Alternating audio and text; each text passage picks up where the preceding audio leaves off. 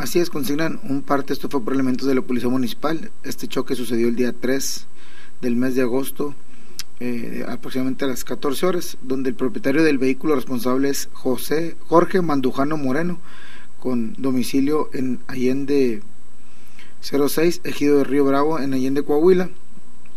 Esta persona, bueno, eh, se estaciona su vehículo en la calle Micare de la colonia Sutar, eh, descendiendo del vehículo Posteriormente el vehículo empieza a dar de reversa sin conductor y es cuando impacta primero un medidor de gas, posteriormente un vehículo Ford Sedan 1996 propiedad de Miguel Ángel Cías Mireles.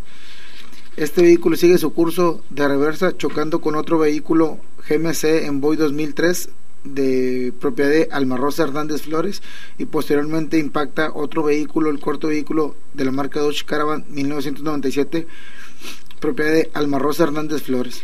Se estará, ya se citó esta persona para que rinde su declaración ministerial y bueno, pues se desconocen cuáles fueron las causas de que el vehículo estuviera en movimiento sin conductor. No hubo lesionados. No, no hubo lesionados, solamente eh, eh, daños en el cual ascienden aproximadamente a 12.500 pesos.